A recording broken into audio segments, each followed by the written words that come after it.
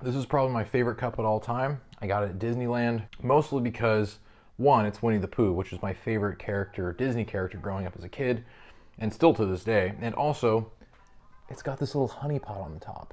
Anyway, this is my favorite cup.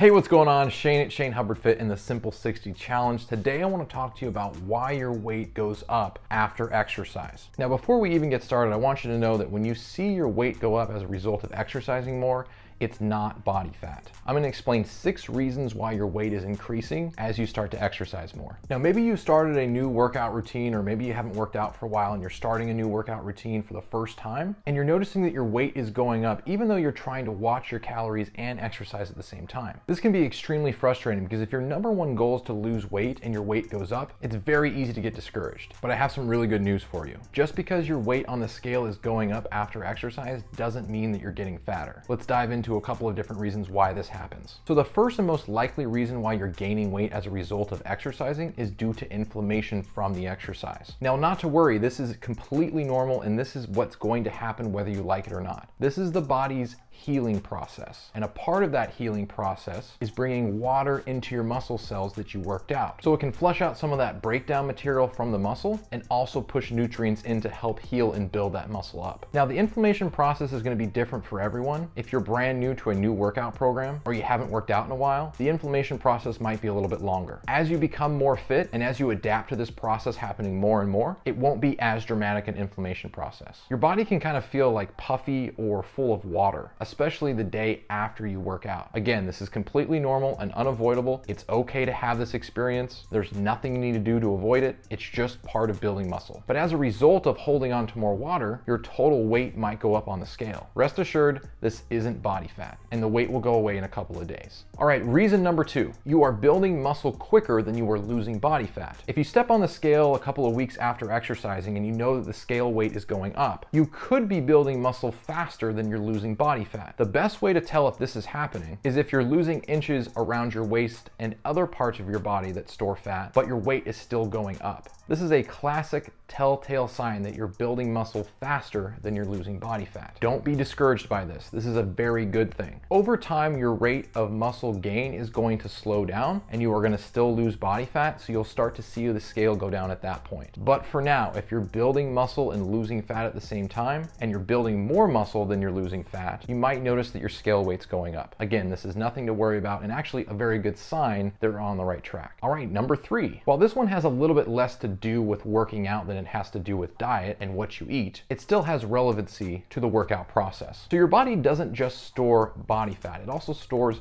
glycogen, which is the storage form of carbohydrates. Now, this glycogen is extremely important for things like weightlifting because glycogen is a much more efficient energy source for things like lifting weights and doing high intensity interval training. So you definitely want glycogen stores. Have you ever eaten a lot of food over the weekend and then weighed yourself on Monday and noticed that you're a lot heavier than you normally are? A lot of times this is because you are storing more glycogen in your glycogen stores. And then you notice over the week that weight starts to go away. While this could also be water weight, a good majority of of it is glycogen stores. Now, why is this important? Because you might be thinking that, okay, well, I just won't eat carbohydrates, which means my weight won't go up, which means that I'll be losing weight. That's not the best way to think about it. You want glycogen stores to fuel your workouts. And if you're concerned about the weight gain that you get as a result of it, I can promise you it's not body fat. So there's no reason to be concerned. And if you're really worried about carbohydrates, and glycogen stores, then focus on eating your carbohydrates around your workouts so they fuel your workouts, but they don't add a lot of excess water weight to your body. That's definitely one way to go about it, but even then I think that's too much detail. All right, reason number four, the sodium in your food is causing some water retention. Now, unless you're eating a ton of salt, this isn't really something you need to be super concerned with. That being said, if you're under the supervision of a doctor and he or she is telling you to reduce your sodium intake, please follow their advice. I am not a doctor. There's a good chance you're retaining water from that salt. Now you might be wondering, is this a bad thing? Should I stop doing this? Water weight is not a bad thing unless it gets way out of hand. And at that point, you should be seeing a doctor about those health concerns. But the water retention you get from salt is not something you need to worry about. Like any other form of water weight, it'll eventually go away. Number five, you are taking a supplement that causes you to retain water. Some people have reported that taking creatine monohydrate causes water retention. And I have experienced this personally. But the good news is, is this water retention eventually goes away. So if you started taking creatine recently, recently and you notice that your weight went up pretty dramatically, like five to six pounds in the last two days, that's just water retention. That will go away over time. All right, number six and our very last one. You're eating more protein and more fiber-rich foods. So if you've gone from an eating style that was mostly processed foods to an eating style that had a lot more whole foods like lean meats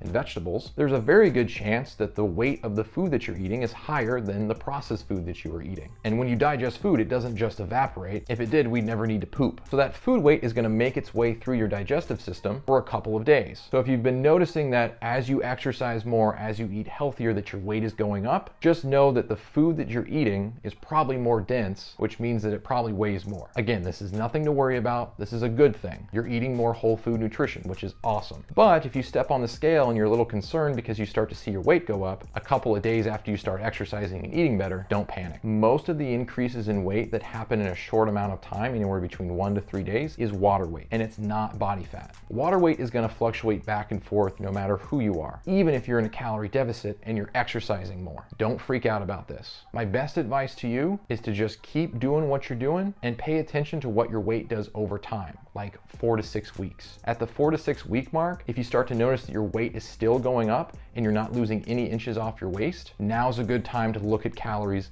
and look at your exercise and figure out what adjustment you need to make. If this video helped reduce your anxiety about your weight going up, let me know in the comment section down below. All right, so that is my video on why your weight increases as a result of exercise. I hope this was helpful. If this video helped you out, let me know by giving this video a thumbs up. And if you wanna stay in the loop with more videos that I put out, make sure to hit that subscribe button and hit the bell if you wanna be notified. Thanks a ton for watching this video today. I will see you in a future video.